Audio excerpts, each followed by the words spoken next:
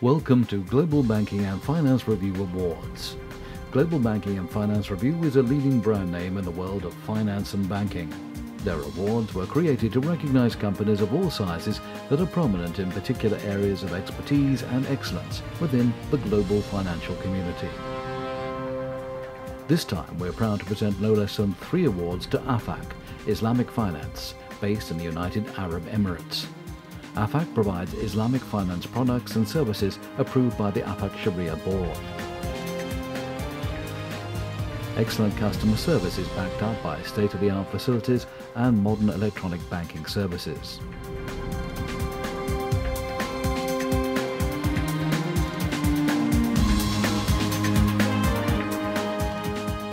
The three awards from Global Banking and Finance Review are Best Financial Statements Presentation UAE 2014, Best Customer Service Provider to Government and Non-Government Sector Middle East 2015, and Fastest Growing Islamic Finance Company UAE 2015. Recently returning to London to receive the awards, His Highness Sheikh Faisal bin Saud Al Qassimi, the Managing Director of AFAQ, and CEO Dr. Mahmoud Abdulaal. Dr. Abdullah, welcome to London. Thank you so much for, for coming back. It's good to see you again, and congratulations on, on your awards. It's uh, really excellent news. Uh, thank you. My pleasure to be again in London, and um, thank you for your congratulations. Well, let's perhaps, if we can, talk a little bit about the work that AFAQ has been doing in the, uh, since the last time we spoke here on Global Banking and Finances Reviews. Uh, and uh, significant growth, huge success, which is wonderful news. 101% uh, profit, which uh, is good. What, what, do you attribute to that? What do you think has made that so successful? Well, uh, by grace of Allah, uh, we had very successful uh, year 2014, and I believe our team, and all times I, I call the AFAQ team AFAQ family. they are participating to have all this achievement you know, year 2014, as you mentioned earlier, that ended with 101% comparing with uh, net profit of 2013. And all this, uh, uh, I can refer it to our strategic vision of board of directors, our part, uh, team participation, our family participation on have all this plan and all this strategic vision. And I believe uh, if you want to maintain and sustain the, the growth you need to keep the same strategy. You need to keep same uh, plan. You need to maintain your team. Okay, as I said, family means you need more care. You need more uh, attention to this family, to this group, to have more achievement in future. And I believe, inshallah, with this strategic vision of the board of directors and AFAQ, uh, because uh, we have uh, put a plan for three years, uh, to continue in the same growth, uh, to have more partnership with the government, with the semi-government, with the private sector. Uh, unless you have all these people, unless you have all this partnership, unless you have all this agreement, you cannot continue and grow. Perhaps to expand on that, if we may, you know, uh, what do you attribute to the success? You've explained that. What's your plans going forward to ensure that that success continues? Uh, 100% if you, you, you need to enhance your, your, your, your sectors. Okay, now we're focusing on this 2015 on education sector. Education sector is very sensitive sector. Uh, and we had created uh, two uh, subsidiaries of AFAQ, which is AFAQ uh, Training Institution. It's called IFM, an Institute of Finance, uh, Finance and Management, and we create our, uh, our own research center. It will going to have uh, input on that growth in, in 2015. Uh, beside that, we also create our own um, health education, health education college and uh, we'll try to have uh, more contribution from different sectors. And we arrange to have a different agreement with the local government of Dubai uh, such as uh, new agreement with DED, and we'll try to enhance our previous and existing sector as well. So really, you're putting a, a great deal into the, the, social welfare of your customers and clients as well. can you explain to me a little bit more about uh, the differences between Islamic finance, the Islamic finance sector, and conventional financing sector regarding such things as inflation or, of course, oil prices, which is significant in your part of the world? You know, all times uh, the differences between the Islamic financial institution and conventional institution that uh, all times Islamic financial institution rely on assets, okay? It's more ethical, more moral, okay? And, you know, uh, there is restricted uh, um, formulas and agreements and contracts uh, we deal with in Islamic financial institution. And even the supervision is different you know, you have different supervision authority, such like Sharia board. All this can contribute by, by all means to have the, the real differences between Islamic financial institution and conventional uh, institution. So that why, if, for example, now uh, prices fall, there is no a, a, a real impact to the Islamic financial institution because if you deal with the assets, Okay, it's not your uh, in, in, in conventional institution, just you deal with the interest and money. Okay, and money creating money. But in, in Islamic financial institution, you rely on, pure assets. You're adding value to the economy. So if any, yes, there is an impact, but if you compare it with a conventional sector, you'll find it's, less, uh, less than that impact on the in conventional sector. It's, it's good to hear you explain that. Uh, let's talk a little bit now about the new services and products that you've brought in as a re result of what your clients probably have requested and need. Yeah. See, now, as I said, uh, according to the strategic vision of the UAE government and uh, in Dubai or in Abu Dhabi or as UAE general, they are now targeting the education sector. Okay. So now, as I said earlier, uh, we create our own subsidiary for education sector and we're going to have our first uh, primary school uh, maybe in 2015 2016 but at the same time uh, we create our own uh, financing program for education you know in, in, in terms of uh, universities in terms of uh, phd and, and master degree. All this we're going to have a different agreement with different universities to provide their students and their and their members different kinds of investment, uh, different kind of uh, financing. beside that, also as I said, now we we we we, we sign a different and so many agreement with different institutions over the globe regarding providing new certificate, training certificate or professional certificate. Uh, recently, we signed with the certified public accountant in uh, in Pakistan to provide the first Islamic uh, certified public accountant for the globe.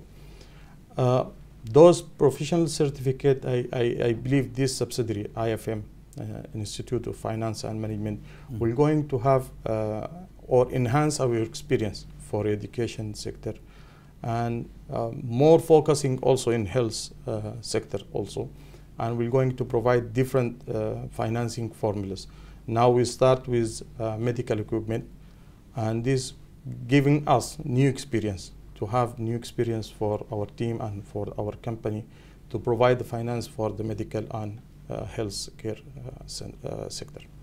Well, that's excellent news. Uh, perhaps we could turn now to SMEs, small to medium enterprises. What would you say the challenges were for them within the the Islamic uh, countries and the uh, uh, uh and also Arab countries?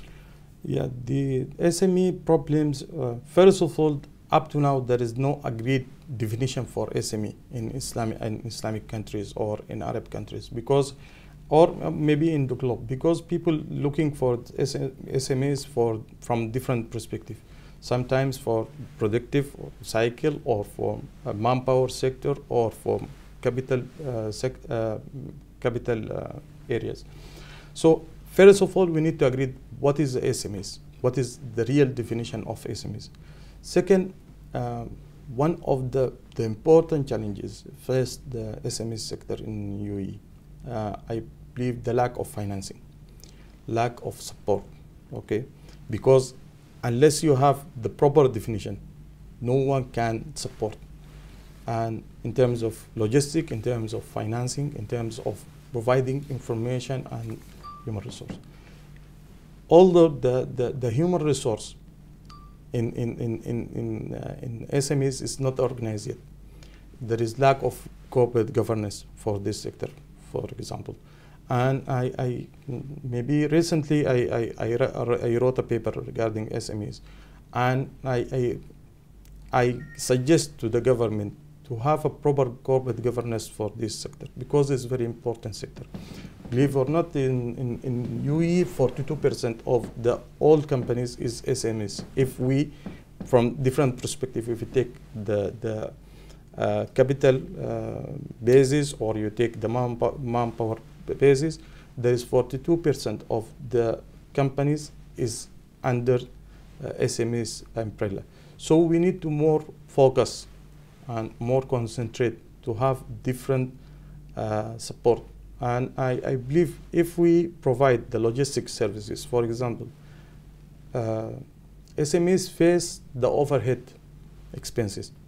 Unless you have a proper minimize overhead, no one can continue because with the competition, with their production cycle, you will face a lot of problem unless the government or semi-government provide kind of logistic services for the SMEs, they cannot survive.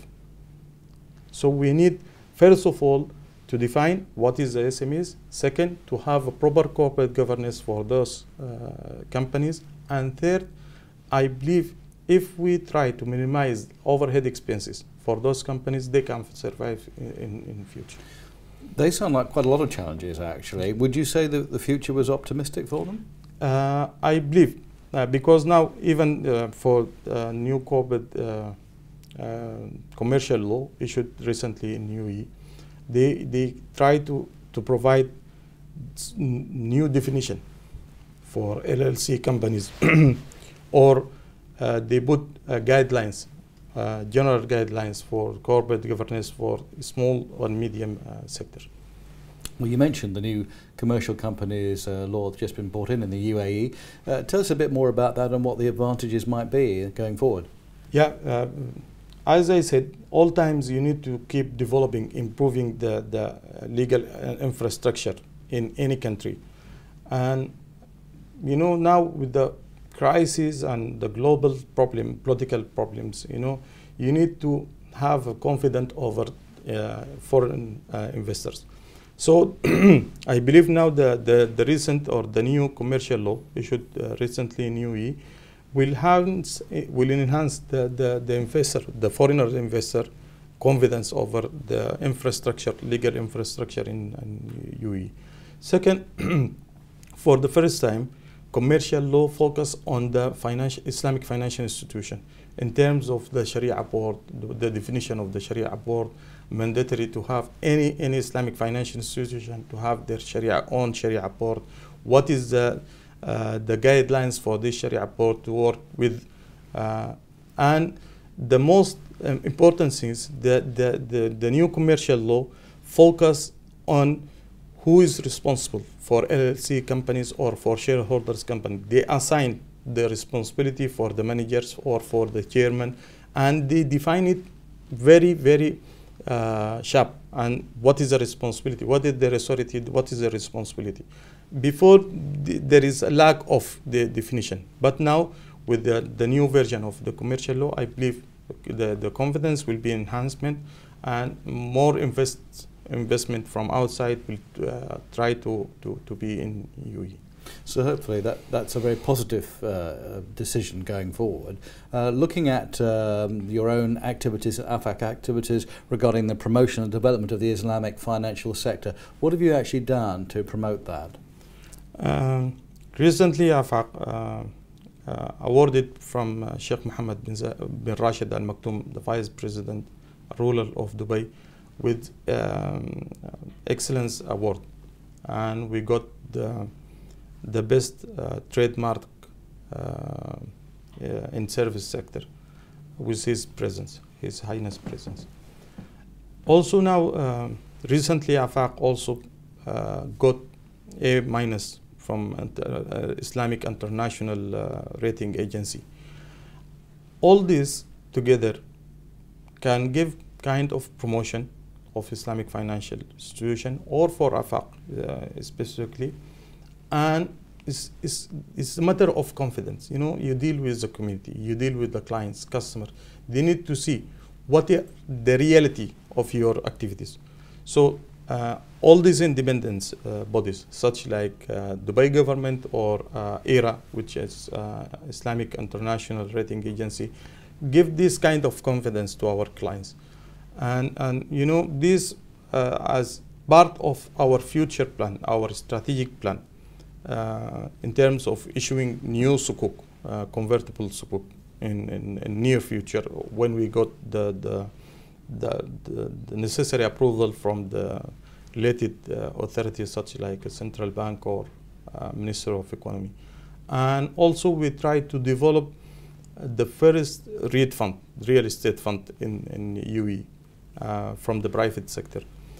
All this and uh, can can contribute by different means to promote AFAQ or promote Islamic financial institution because the experience of Islamic financial institution or the experience of AFAQ since 2006 up to 2015, we need to give more light what is our experience, what we did in the past, what is our uh, strategic few, uh, plan for the next uh, few years, inshallah. It's fascinating. It sounds like it's going to be very interesting as the as the years roll on, and especially in this year, 2015. Dr. Abdullah, thank you so much for coming here today, and you. indeed congratulations on the awards uh, for AFAQ as well. Thank you for this um, uh, nice interview, and I'm very pleased to be here in London and to have the second view with yourself. And, and, and this is my honor to be here with the global. Uh, uh, financing review for the second time and I, I hope inshallah next year will be again in London and to have another interview and to um, give more focus on our achievement, achievement for 2015. That's excellent. Thank you so much.